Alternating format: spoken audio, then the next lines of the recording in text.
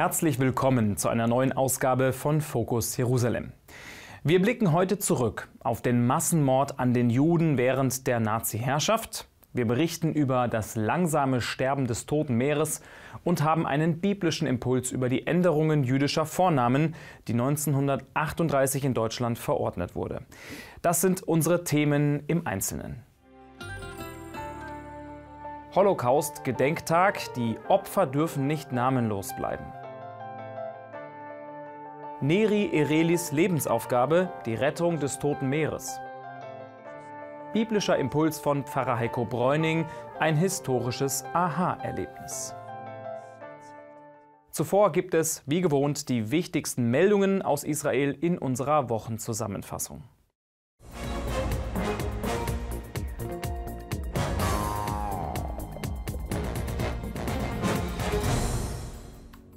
Shalom, liebe Zuschauerinnen und Zuschauer. Israel hat der Opfer von Krieg und Terror gedacht. 59 Soldaten wurden seit dem letzten Gedenktag 2022 während ihres Militärdienstes getötet. Weitere 86 behinderte Veteranen starben an den Folgen der Verletzungen, die sie während ihres Dienstes erlitten hatten. Damit stieg die Gesamtzahl der seit 1860 im Dienst für das Land Gefallenen auf 24.213. In ganz Israel wurden Zeremonien abgehalten. Die Familien der Gefallenen besuchten die Gräber. Der Gedenktag ging nahtlos in die fröhlichen Feiern zum Unabhängigkeitstag über.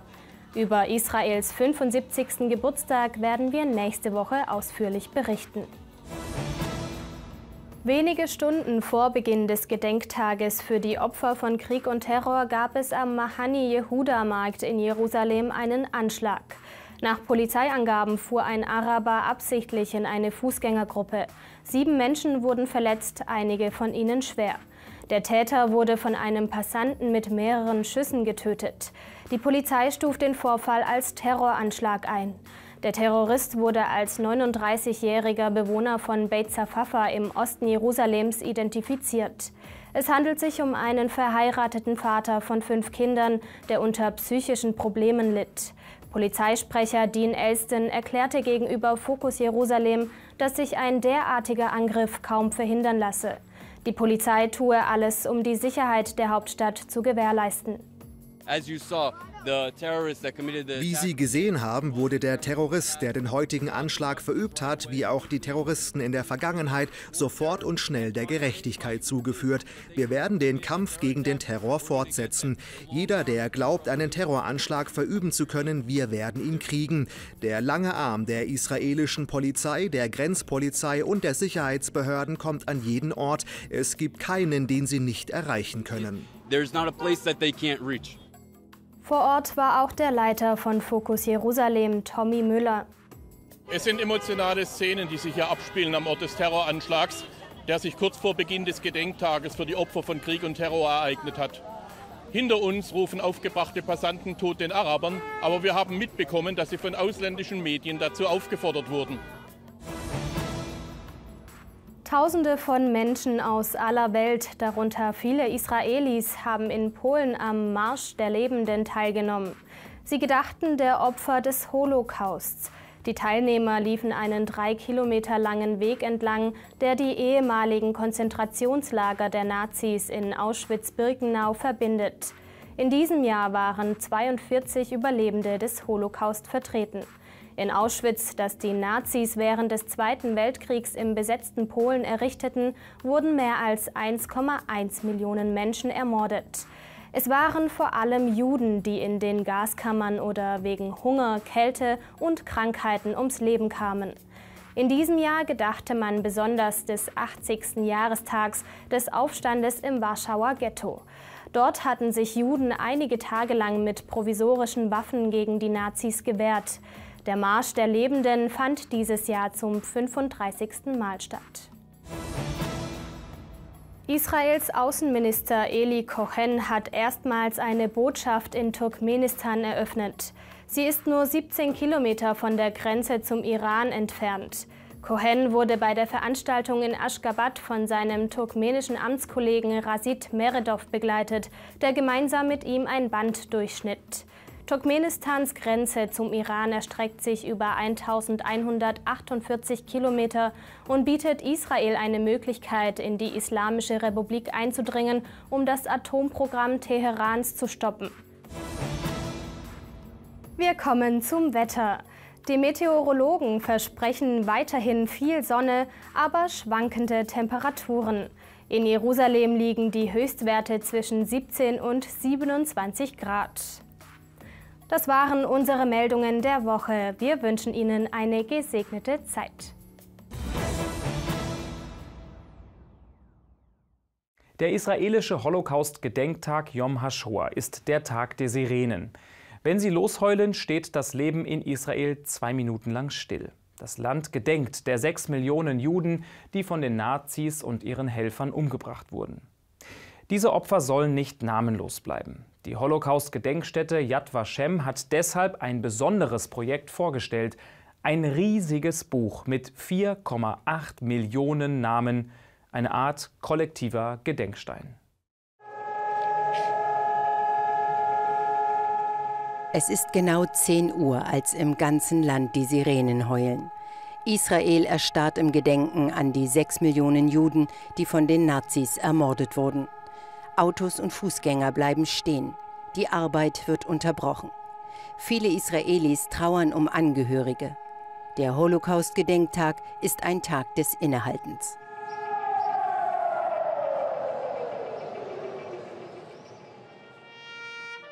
Der Gedenktag begann bereits am Vorabend mit der offiziellen Zeremonie des Staates Israel in der Jerusalemer Holocaust-Gedenkstätte Yad Vashem. Staatspräsident Isaac Herzog appellierte in seiner Rede an den Zusammenhalt des Volkes. Aber dieses Jahr ist kein gewöhnliches Jahr und dieser Gedenktag ist wie kein anderer. In diesem Jahr sind die Gefühle rau und die Schultern gekrümmt, als ob sie das Gewicht der Zwietracht, die auf uns lastet, bezeugen würden. Ich appelliere an Sie, Bürgerinnen und Bürger Israels, mit einer einfachen Bitte. Lassen Sie uns an diesen heiligen Tagen, die heute Abend beginnen und am Unabhängigkeitstag enden, über allen Streitigkeiten stehen. Lassen Sie uns alle zusammenkommen, wie immer in Partnerschaft, in Trauer, im Gedenken. Herzog erinnerte an die Gräueltaten am jüdischen Volk. Immer wieder seien die Körper und die Würde der Opfer dieses schrecklichen und dunklen Verbrechens verletzt worden. In den Lagern, in den Gaskammern, sogar in einer medizinischen Fakultät. Der Staatspräsident zitierte Psalm 79. Ihr Blut wurde wie Wasser vergossen und niemand konnte sie begraben. In diesen Tagen begehen wir den 75. Jahrestag der israelischen Wiedergeburt. 75 Jahre des Sieges, in denen der jüdische und demokratische Staat Israel und die israelische Gesellschaft mit geradem Rücken vor dem Nazi-Monster und denen, die ihm folgen wollen, selbst in dieser Generation stehen und erklären, ihr werdet uns nicht besiegen. Denn Schwestern und Brüder, das sind wir, ja, Brüder, die wissen, wie man streitet und anderer Meinung ist, aber niemals Hasser, niemals Feinde. Wir sind ein Volk und ein Volk werden wir bleiben, verbunden nicht nur durch eine schmerzliche Geschichte, sondern auch durch unsere gemeinsame, hoffnungsvolle Zukunft und unser Schicksal. Bam, bam,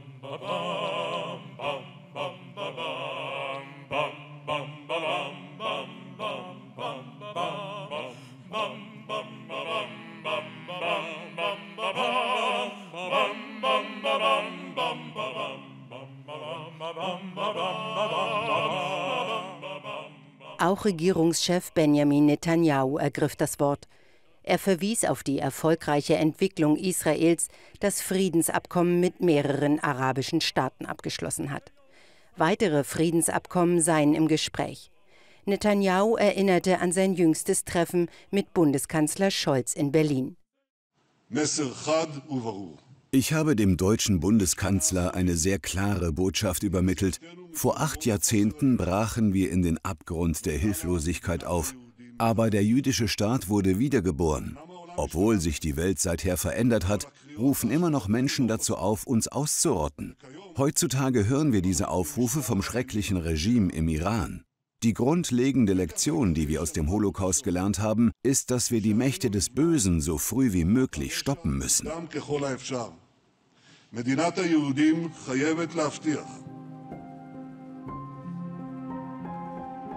Begleitet von Familienangehörigen entzündeten sechs Holocaust-Überlebende sechs Fackeln zur Erinnerung an die sechs Millionen Mordopfer. Die sechs Millionen Toten sollen nicht namenlos bleiben. Deshalb hat die Gedenkstätte Yad Vashem ein Buch zusammengestellt, in dem 4,8 Millionen Holocaust-Opfer aufgeführt sind. Soweit bekannt enthält das Buch auch die Geburtsorte, Geburtsdaten und Orte der Ermordung. Die Namen der Opfer sind auf Seiten gedruckt, die einen Meter breit und anderthalb Meter hoch sind. Die Gesamtlänge des Buches beträgt etwa acht Meter. Dr. Alexander Avram ist Direktor der Halle der Namen von Yad Vashem und Leiter dieses Projekts. First of all, we want to, to honor those people. Wir wollen vor allem die Opfer ehren.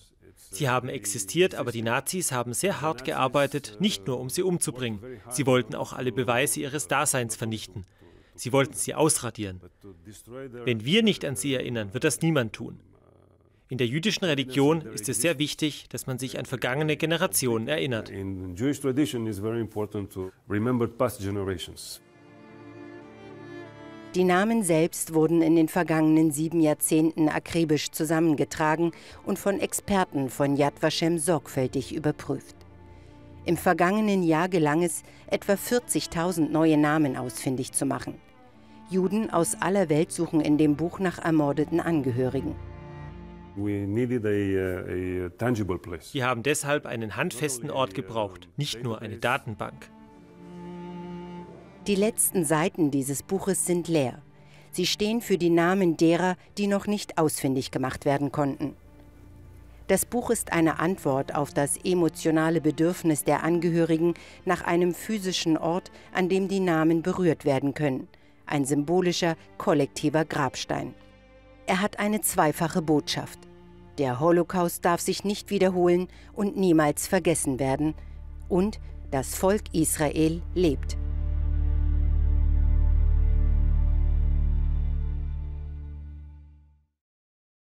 Neri Ereli ist ein Israeli mit deutschen Wurzeln. Er lebt in der Oase Engedi am Toten Meer und hat sein Lebensprojekt so täglich vor Augen. Das Tote Meer ist von Austrocknung bedroht und schrumpft immer mehr. Neri war von 2002 bis zu seinem Ruhestand der Chef der Umweltbehörde der Region Tamar. Er berichtet, dass aus diversen Gründen zu wenig frisches Wasser in den Salzsee fließt. Das Tote Meer sei aber noch zu retten wenn über die Maßnahmen zur Wasserzufuhr nicht nur gesprochen wird, sondern sie endlich auch verwirklicht werden. Neri Ereli liebt das Tote Meer. Er hat beschlossen, es zu retten. Der Kampf für den Salzsee, der mehr als 430 Meter unter dem Meeresspiegel liegt und immer mehr schrumpft, ist seine Lebensaufgabe. Der 75-Jährige lebt mit seiner Frau Norit im Kibbutz Engedi. Die Gemeinschaftssiedlung ist eine malerische Oase am Westufer des Toten Meeres. Ein ruhiger Ort zum Entspannen, aber die Idylle ist in Gefahr. Das Tote Meer hat keinen Abfluss. In dem trockenen Wüstenklima verdunstet das Wasser rasch. Mineralien und Salze bleiben zurück. Weil nicht genügend Wasser aus dem Jordan nachfließt, sinkt der Wasserspiegel im nördlichen Teil seit Jahren. Im Süden des Toten Meeres, wo sich die großen Hotelanlagen befinden, steigt der Wasserspiegel dagegen jährlich um rund 20 cm an. Grund sind die großen Mengen an Salzablagerungen in den künstlich angelegten Becken. Das Tote Meer ist nicht nur das salzreichste, sondern auch das an Mineralien reichste Gewässer der Welt. Im Wasser finden sich Kalium, Brom, Magnesium und Jod. Die Firma Dead Sea Works beutet diese Schätze industriell aus. Ihre Anlage zur Kalisalzgewinnung zählt zu den größten der Welt. Das Unternehmen bietet unter anderem Badesalz, Tafelsalz und Industriesalz an. Vor der Anlage türmen sich riesige Salzberge. Am Südufer wurden die Salzablagerungen zunehmend zum Problem. Der steigende Wasserstand in den künstlich angelegten Ablagerungsbecken bedroht mittlerweile die Hotels. In Absprache mit der Regierung habe man darauf reagiert, erläutert Oriel Aliat, der Manager des Großprojekts. So what we are doing now, we are starting a dredging project. Wir machen hier Folgendes. Wir graben das Salz ab und schaffen es von hier weg. Wir bringen es nach Osten, nach dort hinten. Dort werden wir große Ladehalden aufbauen. Nachdem das ganze Wasser in den Becken zurückgeflossen ist, wird das Salz auf Förderbänder verladen. Schließlich transportieren wir es nach Norden und zurück ins Tote Meer. Via conveyor all the way to the north to the Dead Sea. Neri Ereli wirft der Firma vor, dass sie dieses Versprechen nicht einhält. Wenn du mit Kapitalisten redest, dann schauen die nur aufs Geld. Natürlich haben sie das nicht getan. Sie haben nur den ersten Teil gemacht. Um eine Wassertiefe von einigen Metern in ihren südlichen Becken zu erhalten, fräsen sie das Kochsalz auf dem Boden ab, das sich dort in Wellen abgesetzt hat. Da gibt es kleine Inseln, dann geht es tief hinunter. Sie ernten das Salz sozusagen, fräsen es ab und machen den Boden eben. Aber statt auszuführen, was sie der Öffentlichkeit in Israel versprochen haben und das Salz in den nördlichen Teil des Toten Meeres zu bringen, sammeln sie es einfach an. Salzhalden am Uferbereich seien eine Umweltgefahr, beklagt Neri Ereli. Außerdem fehle so der Ausgleich mit dem nördlichen Teil, wo der Wasserstand immer weiter sinke. Dank der Nutzung von recyceltem Wasser für die Landwirtschaft und entsalztem Meerwasser als Trinkwasser gebe es in Israel keinen Wassermangel mehr. Nun könne man dem Toten Meer Wasser zuführen und dafür bereits bestehende Leitungen nutzen. Dieses saubere Wasser würde sozusagen rückwärts laufen, durch die Berge zum See Genezareth. Dort könnte man den Damm öffnen, der das Wasser am Ende des Sees Genezareth zurückhält. Das Wasser könnte dann durch den Jordan zurückfließen ins Tote Meer. Von meinem Standpunkt aus ist das die einzige moralische und rationale Lösung für das Tote Meer. Ohne Wasserzufuhr werde das Tote Meer sterben. Seine Begeisterung für den Salzsee gibt Neri Ereli an Schüler in Bad Kissingen weiter, in der unterfränkischen Stadt wurde einst sein Vater geboren. Doch das Reisen in die Heimat seines Vaters fällt ihm schwer. Neris Lebensmittelpunkt bleibt das Tote Meer. Im Kibbutz Engedi will er bleiben, bis er stirbt.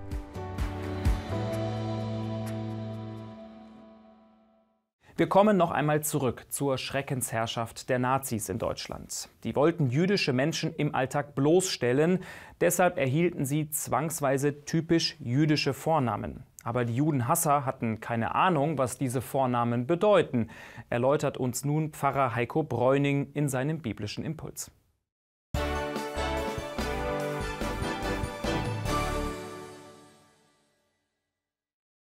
Die zweite Verordnung zur Durchführung des Gesetzes über die Änderung von Familiennamen und Vornamen vom 17. August 38 zielte darauf ab, Juden anhand ihrer Vornamen kenntlich zu machen.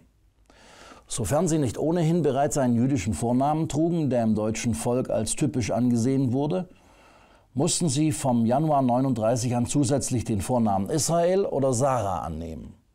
Unterschrieben wurde diese Verordnung von Dr. Stuckert und Dr. Gürtner, zwei Juristen. Viele Juden hatten keine jüdischen Namen. Und durch die Zugabe der Namen Israel und Sarah sollte in jedem Ausweis kenntlich gemacht werden, dass es sich eben um Juden handelt. Wie kamen die Nazis aber auf die Namen Israel und Sarah? Und welche Bedeutung haben diese hebräischen Namen? Der männliche Name Israel bot sich an.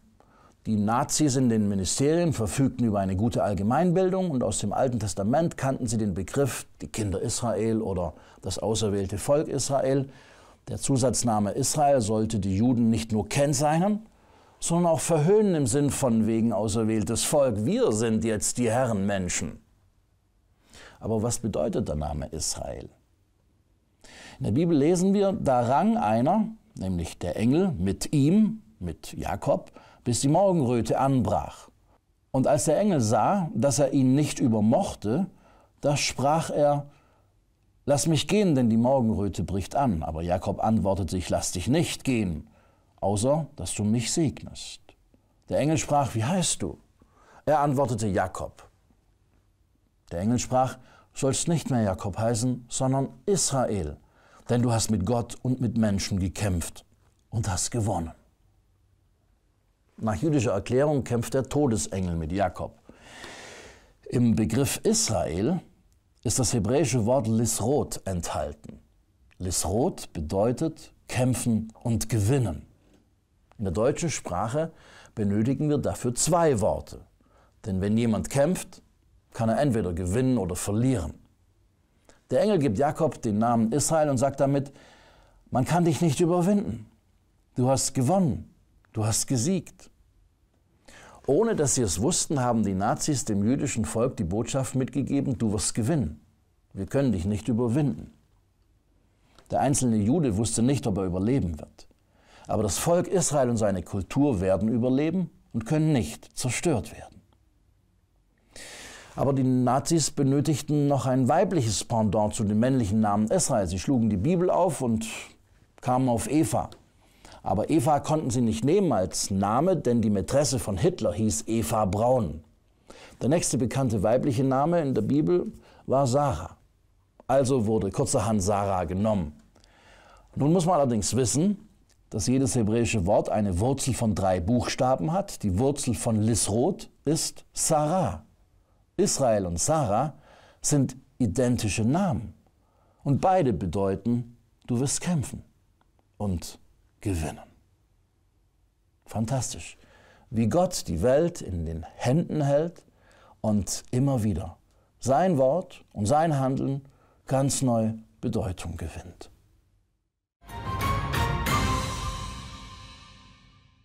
Das unvorstellbare Grauen des Massenmords an Juden ist tief im kollektiven Gedächtnis der Israelis verankert. In Europa droht die Erinnerung zu verblassen oder das historische Geschehen wird bestritten. Auffällig viele Holocaust-Leugner gibt es sowohl im rechtsradikalen Spektrum als auch unter Muslimen in aller Welt. Wir haben es uns zur Aufgabe gemacht, in dieser Sendung an die Gräueltaten zu erinnern. Gleichzeitig zeigen wir, dass Israel heute ein wehrhafter jüdischer Staat ist, der es ernst meint mit seinem Versprechen, dass er Juden schützen wird und sich der Holocaust niemals wiederholen wird.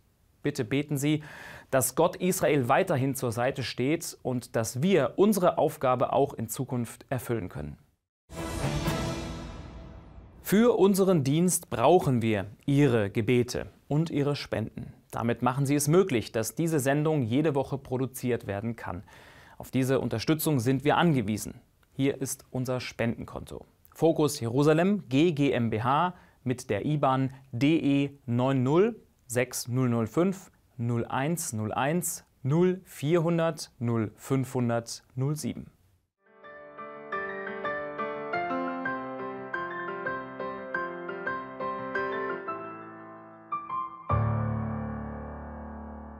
Wir danken Ihnen recht herzlich für Ihre Hilfe in diesen schwierigen Zeiten. Wir verabschieden uns mit Aufnahmen einer Gedenkstätte in der Negev-Wüste nahe der Stadt Beersheba.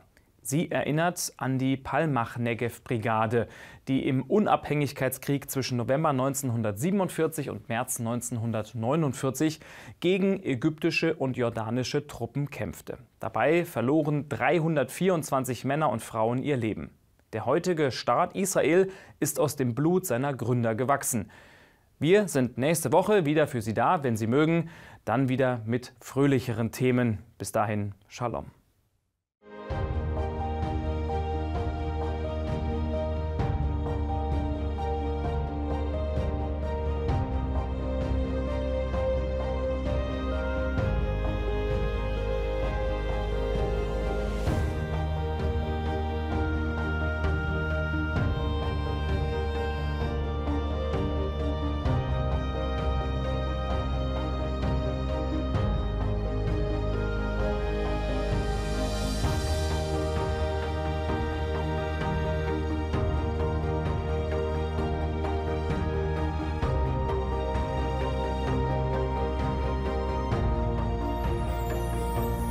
Und nächste Woche bei Fokus Jerusalem 75 Jahre Israel, der Staat der Wunder feiert. Grüner Dünger, israelische Entwicklung für nachhaltige Landwirtschaft. Biblischer Impuls von Pfarrer Hans Scholz, die Leviten lesen.